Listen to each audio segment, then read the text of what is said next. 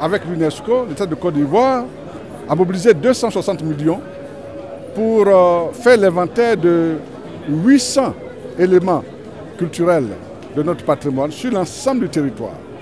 Bien sûr, c'est une première phase, parce que nous avons plus que cela.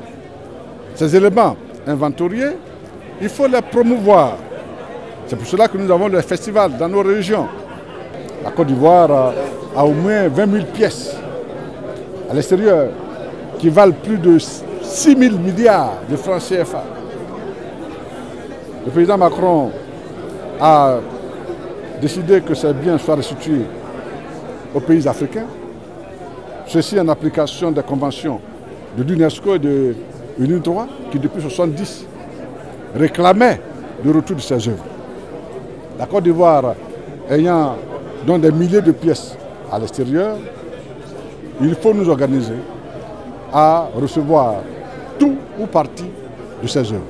C'est pour cela que la Côte d'Ivoire va construire des musées, 12 à l'intérieur du pays, un musée important, un nouveau musée ici à Bidjan, et soutenir les initiatives privées afin que ces pièces, si un jour nous arrivons à les faire revenir, nous puissions les mettre dans nos musées.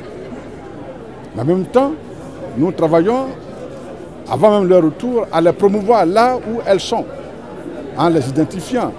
Nous avons identifié tous les musées où nos œuvres sont détenues. Et nous entamons une promotion de ces œuvres à travers des échanges, à travers des expositions. Tout ceci pour montrer la richesse de notre pays.